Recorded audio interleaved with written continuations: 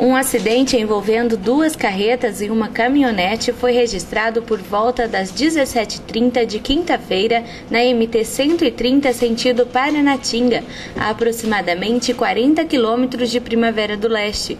Segundo informações do boletim de acidente lavrado pela Polícia Militar, o caminhão placas BWY 0357 de Urucuí, Piauí, estava parado na pista sentido Primavera sem nenhuma sinalização quando o caminhão placas CDL 2196 de Primavera do Leste acabou batendo em sua traseira.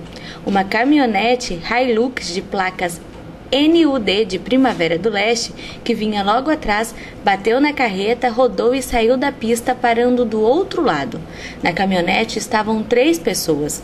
Um dos ocupantes, identificado como Rodrigo de Jesus, ficou preso às ferragens e o corpo de bombeiros foi chamado para retirá-lo. Na verdade, essa ocorrência ela entrou por volta das 18 horas, né? E a princípio eram duas vítimas presas em ferragem, mas quando nós chegamos no local, né, com o apoio da eh, toda a equipe da equipe básica, a equipe avançada, juntamente com o médico, chegamos no local só tinha uma vítima presa em ferragem e duas vítimas fora da, do veículo. Então, o atendimento prioritário foi para a vítima presa em ferragem, que estava inconsciente. Né? Fizemos uma retirada dela rápida, haja vista o perigo iminência de, da, da vida, né, de perda de vida. Então foi retirado, agora o médico está fazendo os procedimentos.